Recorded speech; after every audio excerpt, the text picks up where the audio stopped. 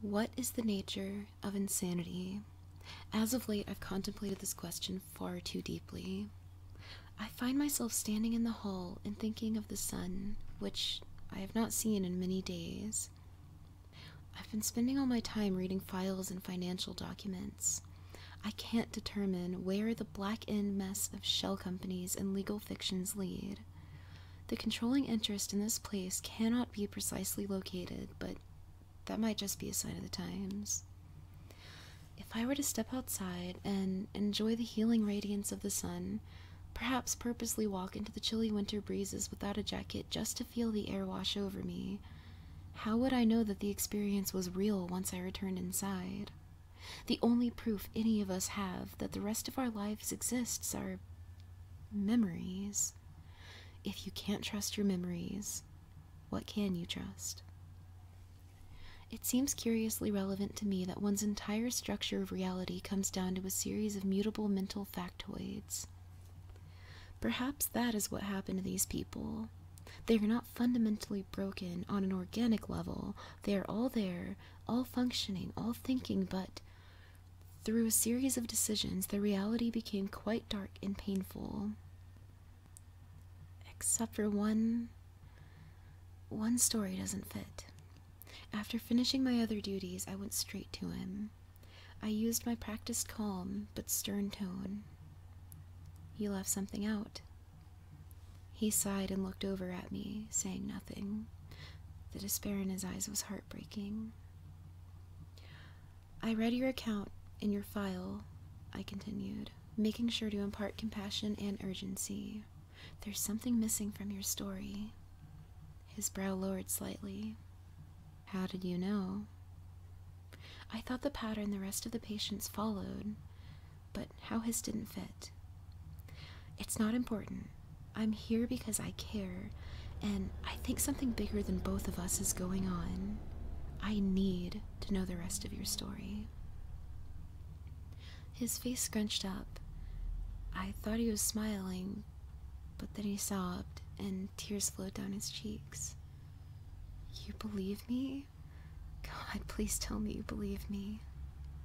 I was well aware of my mentors and even the chief of medicine's warnings about how I regarded the patient's ideas, but I needed to know. Yes, I believe you.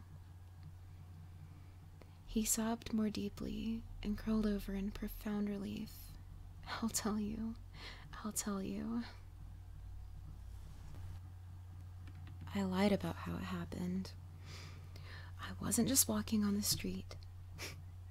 what, some random bum spills blood on me and then the bone walker comes out of nowhere? no. It was me. I sought it out. My life was already taking a dark turn.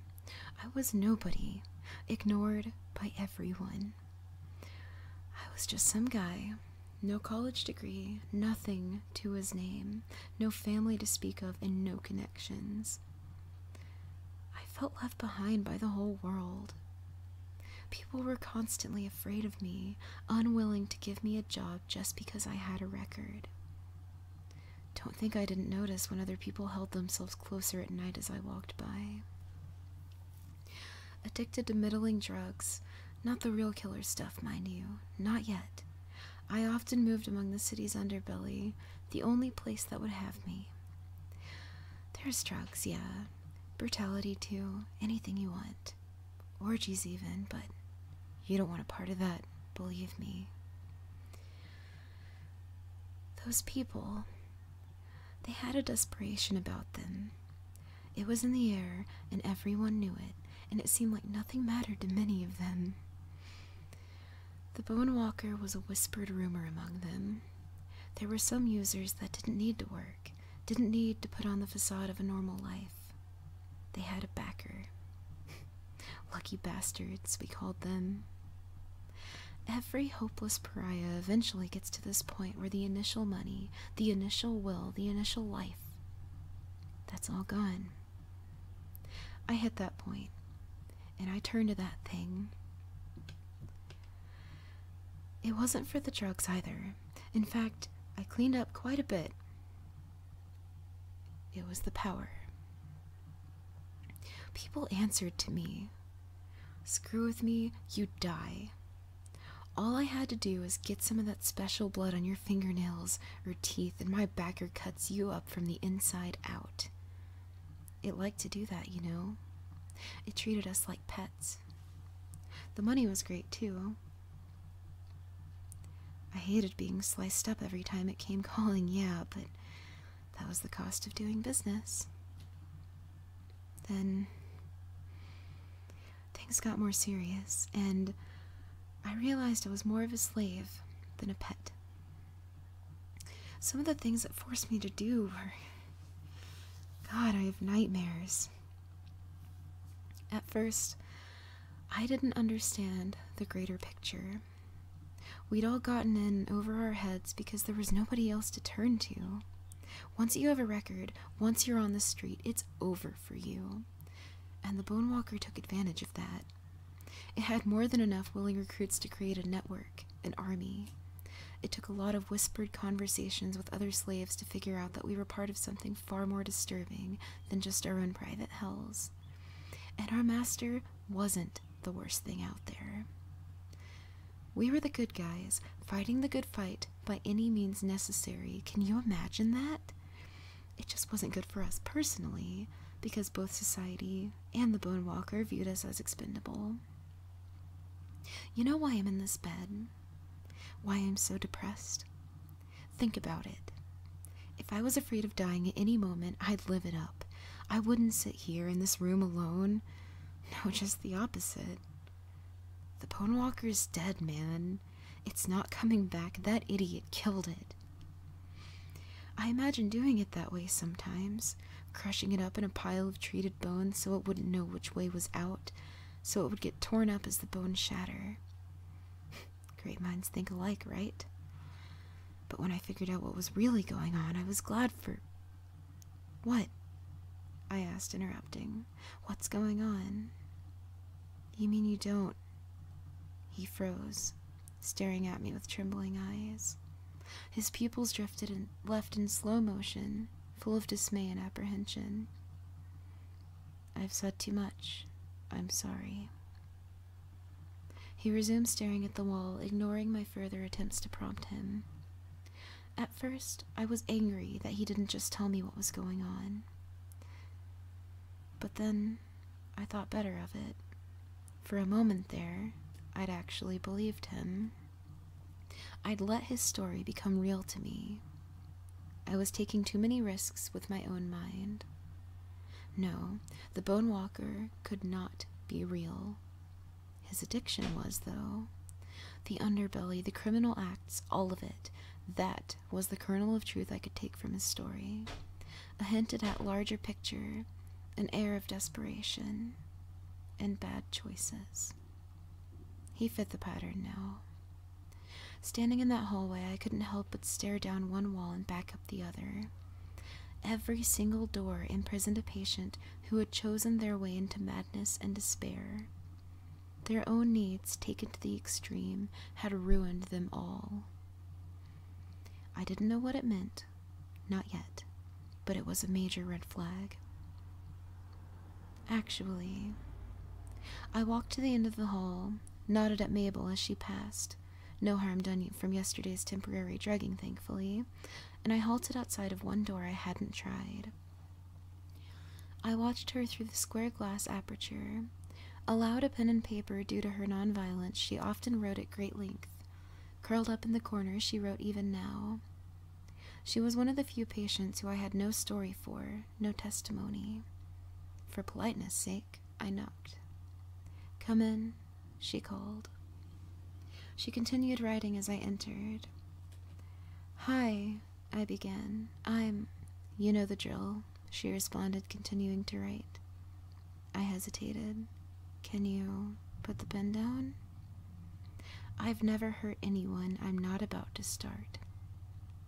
Accepting her statement, but still apprehensive, I kneeled down. She reached both hands up and felt around my temples, and then back around the curve of my head. Sorry, she breathed with a note of disappointment. I can't talk to you. Are you sure? I want to help. I think something is going on here in this place. She made no response, turning back to her scribbling.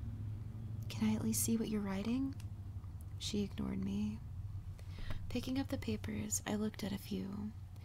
They were not gibberish, not exactly, but filled it with stream of consciousness paragraphs and carefully practiced script, with a few strange errors. I waved my hand in front of her face and she still made no reaction. My jaw dropped. Are you blind? She took in a sharp breath through her nose, but still made no reply. Okay, ignore me, I told her, but at least tell me why you're writing all this if you can't read it. What's this all for? She gave me only a single word practice. Her answer was simple but profound. I left her to her devices, contemplating her possible backstory. If she knew how to write and she was practicing it, that meant she was able to see at one time. She had not always been blind. What could that tell me? Had she too somehow gone from a normal girl to a quiet, blinded patient who refused to talk to anyone who didn't pass her inexplicable ritual?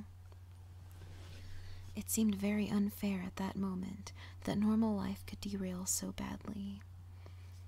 All of these people, they were all normal more or less, and had made enough bad choices to end up here. There was another blind patient without a backstory. Oddly, he'd had one at some point, but the file was destroyed or lost. I passed through several sets of doors, heading for the farthest wing. They kept him at the very end. I peered in at him.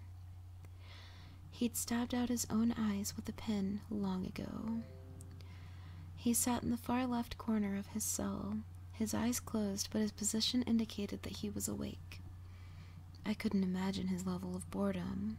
He refused anything electronic, became quite violent around such devices, in fact. A television or even just a radio might have alleviated his unending darkness and solitude. I honestly couldn't fathom spending every day just sitting and thinking, trapped in my own head. I saw a tiny bit of white sticking out from under his leg. I rushed through the halls, filled with a sudden hunch. Mabel! She stopped and turned. Thanks for yesterday, she said. My husband would be lost if anything happened to me. Tottering old fool. She smiled. Sure thing, I almost said, but hesitated, remembering how that twisted, limbless man and I had both said the same thing to Claire. The words held a shuddering aversion for me now. Um, you're welcome. Mabel, are you. Or do you know of any nurses who are bringing papers from one patient to another? How's your hand? she asked, suddenly nervous. I looked down at the bandage. Fine, but about those papers. She donned a frustrated expression. They seemed to like writing to each other. He was just sitting there, alone. I felt sorry for him. I didn't mean any harm. It's fine, I told her. I'm not looking to get you in trouble. Do you happen to know anything about what they're writing? She explained some of the minor details she'd read, just to check. She wasn't about to pass death threats or other rudeness, she said and once I understood, I hurried back to the end of that the far wing. I can hear you, he called through the door. Frowning, I watched him subtly adjust to hide the papers he was sitting on. I entered after a moment, letting him think I didn't know. I wondered how he read them at all, until I realized that he could probably feel the pen's effects on the paper like an engraving. Interesting. I stood halfway into the room, giving him some space. Although blind, he made an effort to look in my direction. You're not like the rest of them, you know. What do you mean? He frowned, then gave a weak smile. You don't walk like them. He was right. I'd been walking quickly, with energy and concern. The other staff took their leisurely time in the halls. It was just a job to them. It had become more than that to me. Are you willing to tell me your story? I asked, sitting cross legged near him. He smiled, widening it into a mocking grin. It's pointless. Tell me anyway. Do you have a cell phone? he asked. I shook my head, but then realized he couldn't see the motion. No, it could interfere with the medical equipment. A pager? I looked at my belt. No, I lied. Good, good, he mused aloud. Been having headaches lately, friend? I blinked. I had, actually. I'd been sleeping a little and. or I'd been sleeping little and poorly when I did. The on call rooms did not offer the best sleeping conditions, and it had been the center of my extracurricular activities for the duration of my investigation. I'd chalked up the headaches to my fatigue, and I'd been downing increasing numbers of painkillers. No, no headaches, I lied. Oh. He seemed vaguely disappointed. I figured that paranoid schizophrenics like him enjoyed guessing little things because it hinted at some greater mysterious knowledge they might possess, and being wrong was not something he enjoyed. Fine, he said after a moment. I've nothing better to do. Then you'll leave me alone? Yes. All right, but you might not like what you hear. Good. I have a feeling something is going on, and I already don't like it. He seemed to perk up at that. Really? It was a Sunday. I remember that very clearly. I. I didn't finish writing the day's events up before something else happened. Blackness washed over me like a wave as I sat in the on call room typing out the story he told me. By the light of my laptop screen, I checked the mainline phone. No dial tone. The constant droning of the building's air system was gone, replaced with deathly silence. I crept over to the door and peered into the hallway. Darkness hovered between rotating red emergency lights, sparsely placed at long intervals. At the extreme other end of the hall, under flashing crimson, I saw something that chilled my blood. The door to a patient's room opened slowly, softly, as if the person behind it couldn't believe it was unlocked. I couldn't believe it either. I'd only talked personally to the most docile patients, but many of them were extremely dangerous. Fighting a sudden spike in my headache, I blinked continually, struggling to determine who it was that had escaped. His silhouette fitted shadow. Oh, I'm sorry. His silhouette flitted shadow and red as he moved about, looking up and down the hall. He couldn't see me, shrouded in darkness as I was, but I could see him. I knew him. He wasn't too dangerous. Beside him, another door opened, and then another. It occurred to me that the power outage was no accident. Someone had unlocked all the doors.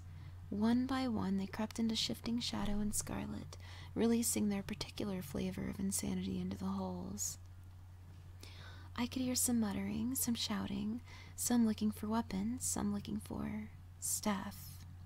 I thought to lock the door and hide, but they would certainly check the on call room. I couldn't stay there.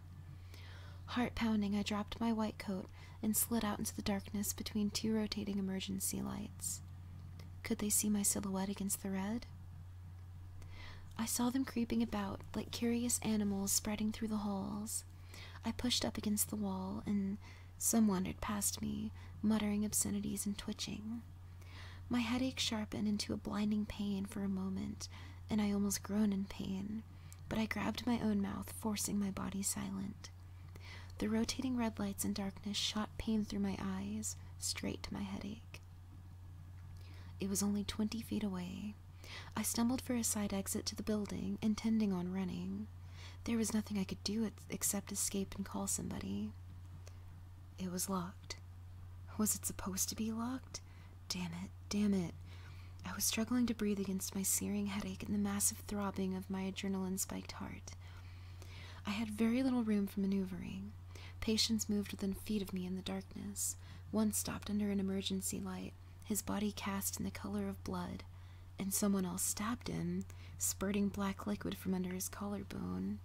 He screamed, and I could hear attention turn toward the area. The sound of falling meat came, along with continued screams, and something squishy slid across the floor, hitting my shoe with a strange wet plop. The large patient who had done the grisly hack job looked my way, peering into the darkness. Reflexively ducking into one of the patient's rooms, I closed the door behind me.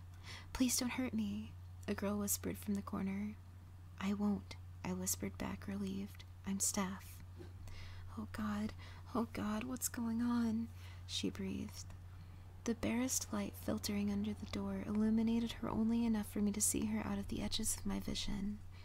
Cast in sickly red, she was emaciated, a gaunt and unwholesome sight. I knew her immediately. Wait here, I said, burning with an idea. I poked my head out the door and looked either direction. Adrenaline surged, and I darted for the other side of the hall. I grabbed a tray of food from inside, then darted back. I heard a shout of anger, but I couldn't tell if someone had seen me. Eat this, I told her. She moved back an inch. No. Just try, I whispered, pleading. It'll help us, I promise. Quivering, she picked up a glob of jello. A moment later, she dropped it, making a disgusted noise.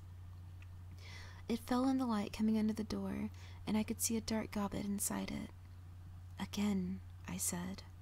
She lifted a half eaten apple to her mouth and then dropped it on the verge of tears.